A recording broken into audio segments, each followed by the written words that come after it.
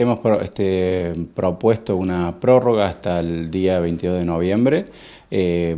para tomarnos después un tiempo hasta antes de fin de año para la evaluación y organizar digamos, el inicio del año a partir de marzo ya con la secuencia de actividades. Por lo tanto nos parecía que estamos en una época eh, bastante, de bastante trabajo en la universidad, con cierres de clases y otras convocatorias, con lo cual este, bueno, decidimos ampliar un poco más el plazo. Eh, hemos tenido también una, una muy buena recepción inicial, pero bueno, lleva tiempo la preparación, entonces es algo bastante novedoso, el, formato es diferente a lo que uno está acostumbrado, entonces eh, hemos dado un tiempo también para hacer consultas, hemos generado una nueva versión de, los formularios para facilitar su, este, su realización eh, y unas aclaraciones adicionales en las bases en función de algunas este, consultas que hemos tenido, con lo cual pensamos que eh, durante este mes vamos ya a poder concluir con esa etapa y luego dedicarnos a la evaluación de las diferentes propuestas.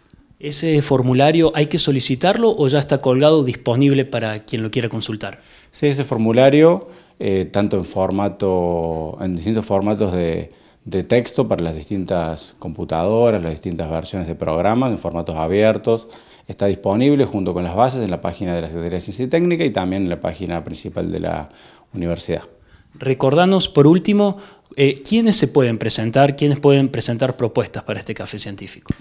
Está abierto a toda la comunidad universitaria. Especialmente invitamos a quienes tengan trabajos de divulgación científica, eh, trabajos de investigación que quieran hacer transferencia de esos resultados, eh, becarios, estudiantes, eh, cualquier equipo de investigación, sea propio de la universidad, sea mixto de, este, con investigadores de CONICET o de otras universidades, están todos invitados y también lo importante es que esta actividad acredite como una actividad de